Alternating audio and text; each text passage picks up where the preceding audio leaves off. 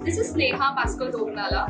Uh, I am current, I'm currently working at Codere Technologies Private Limited as an HR business analyst. And uh, with regards to SVIMS, I feel that it was a wonderful experience when it comes to sales and marketing. I had learned many things because uh, there were experienced people, especially from uh, you know Domino's.